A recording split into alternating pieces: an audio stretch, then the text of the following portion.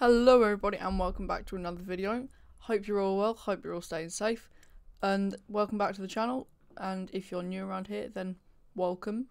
Um, I'm going to be showing you how to install custom vehicles into your LSPDFR. I'm not really a man of words so I'm just going to get straight into this. So you're going to open up your Google or whatever and just type in whatever car you want. Just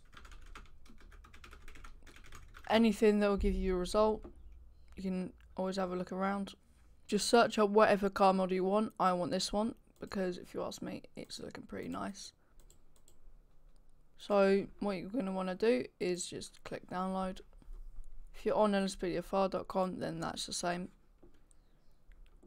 Alright, and then open it up. Also open up your OpenIV.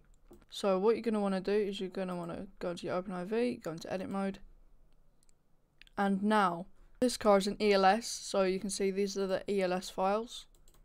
And you can see they've included the templates in this one for people to make their own. Okay, so what we want is the model files though, so click on that, whatever it's called. And you can see these are all of the files that you need. So, so if you're following along as I upload these, then I released a video yesterday on how to install custom peds, and that includes the modern DLC pack V, and that also shows you how to install that. So we're continuing on from yesterday. So remember, you go into your mods folder. If you don't know how to get to your mods folder or anything, just check out that other video. So mods, update, time64, DLC packs, modding, DLC.rpf, 64, levels, GTA 5, vehicles, vehicles.rpf. And this is where you want to put all your custom vehicles. And the reason why I've only got these um, vehicles is because I went the hard way and installed them in their specific locations. But once I discovered a modern DLC pack, it was just a whole lot easier. So you just literally grab your files and just drop them in there. And you can now see. There you go. That's the custom vehicle. Okay, so exit out your OpenIV and go into your files and go to your GTA directory.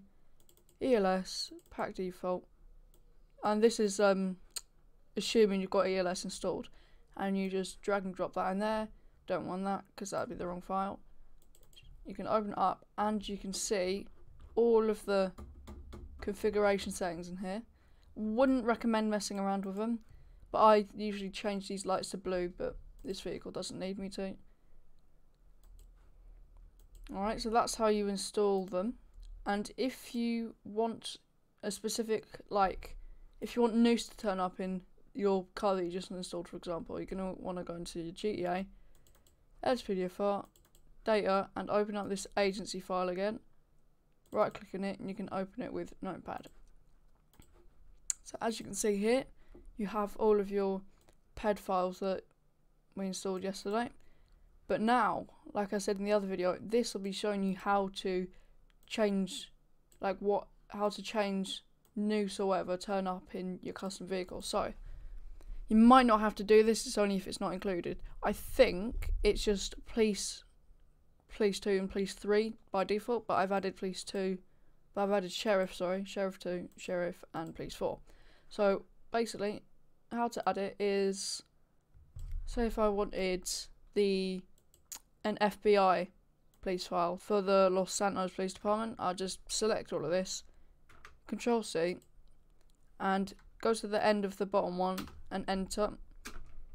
Got to space right to there, so you don't put it a bit off center, and you just copy and paste, and you change it to whatever you want it to be called.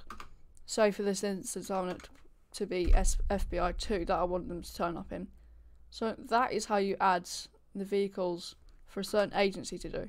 Right, so in case you want Noose to turn up in the um, car we just installed, which was the file name was police, scroll down until you see National Office of Enforcement, whatever it says.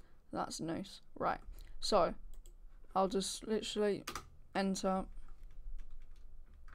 copy and paste, and there you go. If you need to change it, just change it. So that is how you make a certain agency turn up in a certain vehicle. So you just file, save, exit out of that.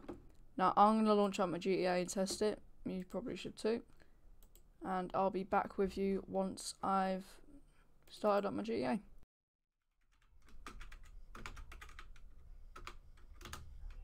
Yep, there you go. Because I changed the file name, so you can now see, obviously, I have it, which is good. Make sure all the sirens work. Alright, so we know it works with me, but we want to check if the police will respond in it. Absolute chaos has just happened trying to get them, but as you can see, the police now turn up in them as well. Um, I have no clue what is going on. Not gonna lie. Okay, I'm gonna end the video there. If you did enjoy this video or I helped you out a lot, make sure you leave a like. Also, if you're new, subscribe to the channel. That'd help out a lot.